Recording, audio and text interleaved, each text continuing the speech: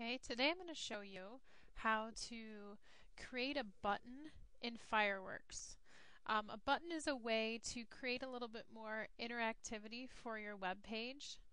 This is interactive HTML web content that you're writing in Fireworks. There aren't a whole lot of uses for um, interactive features when you're just doing image editing, but if you're going to later export this into Dreamweaver, this is something you may really want. Um, some new vocabulary you'll learn. Up is the normal state of a button. This is what it would look like if you were nowhere near the button or you hadn't clicked on it. Over is what it'll look like when you actually roll your mouse over the image. And down is what it'll look like after you've clicked it. Um, I would say probably the most common feature of using or, or the common use for doing this would be to create buttons for menu bars and fireworks. So I'm going to start with fireworks and I'm just going to create a new fireworks file. And right away I'm going to leave my main canvas here and I'm going to go into um, creating a new button.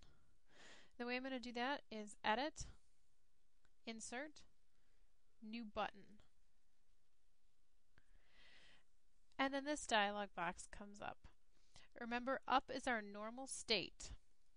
What I'm going to do is just draw a very simple rectangle.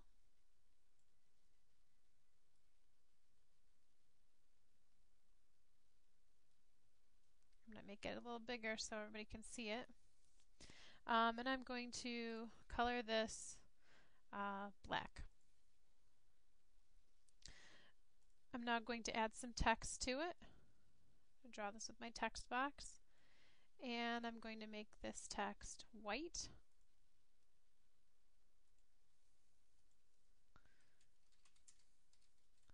It's going to say click here. I'm going to center it. Move that down a little bit. Okay. So there's my basic up button.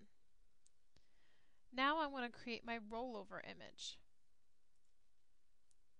When I click to over, you'll see that there's nothing there. If I hit copy up graphic, what it will do is it will copy the image from my up button. From here I can make more changes. I'm going to change this button to be um, a very dark blue color. Okay, and now I'm going to create my down image. This is what the button will change to after it's been clicked.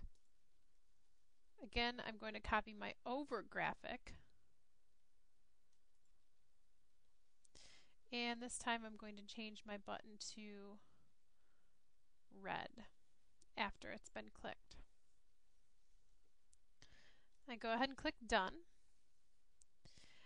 And then this is what my button looks like automatically in my canvas. I can change this and move it around anywhere I'd like. If you were creating a menu, you'd probably want them lined up either along the top or along the sides. Because this is active content, you actually have to preview it to see what it would look like. So this is our up state.